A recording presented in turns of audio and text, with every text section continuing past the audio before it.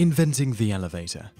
The history of the elevator, if you define it as a platform that can move people and objects up and down, is actually a rather long one. Rudimentary elevators are known to have been in use in ancient Rome and as far back as 336 BC, with the first reference of one being built by the talented Archimedes. These early elevators were open cars rather than enclosed ones and consisted of a platform with hoists that would enable the car to move vertically. These hoists were typically worked manually, either by people or animals, though sometimes water wheels were used. Romans continued to use these simple elevators for many years, usually to move water, building materials, or other heavy items from one place to another. As for the dedicated passenger elevator, this was created in the 18th century, with the first one used by King Louis XV in 1743. He had an elevator constructed at Versailles that would carry him from his apartments on the first floor to his mistress's apartments on the second floor.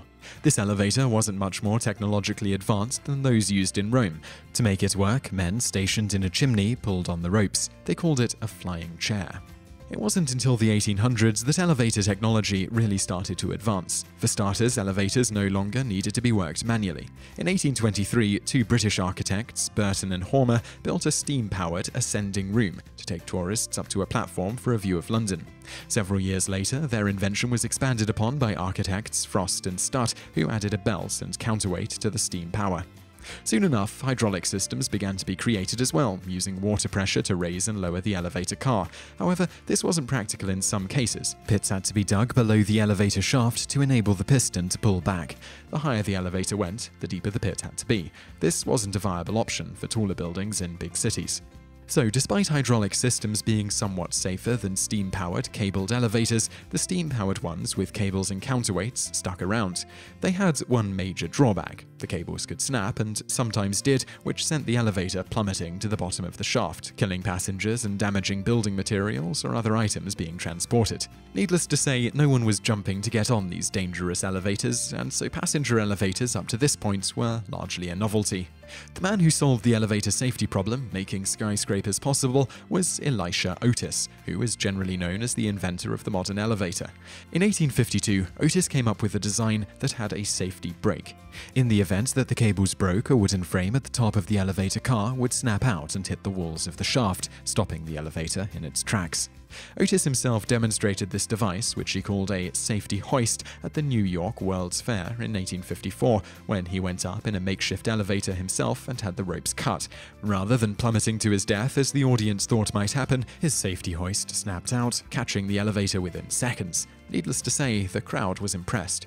Otis went on to found his own elevator company, which installed the first public elevator in a New York building in 1874.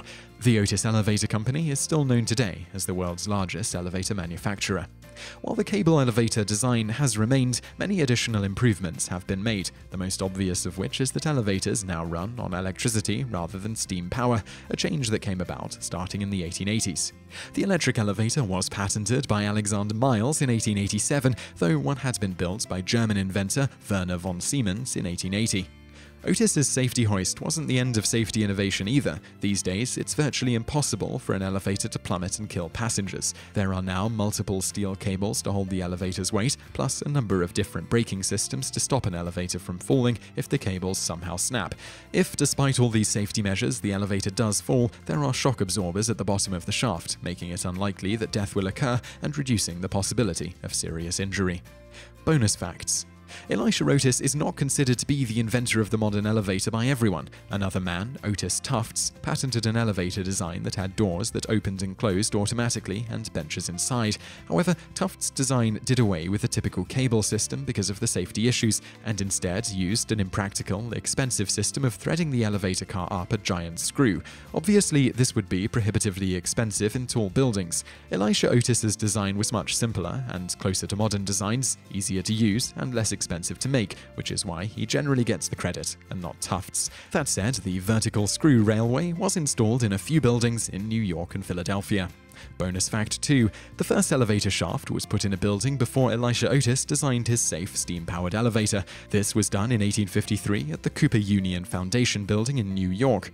Peter Cooper felt that elevators would be perfected and made safe at some point in the near future, so included it in the design of the building. It took a couple of decades, but an elevator was eventually installed in the shaft by Elisha Otis's company.